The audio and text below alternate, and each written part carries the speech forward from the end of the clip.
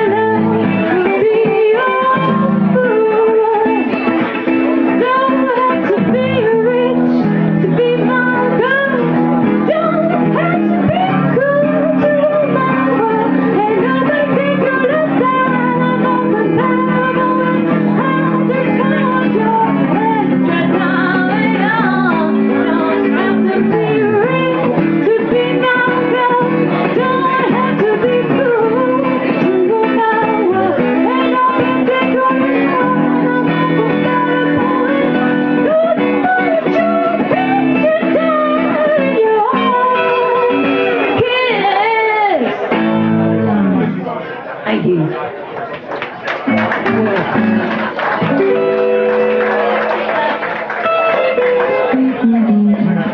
Chris, Chris forgot he was at the gig then for a moment.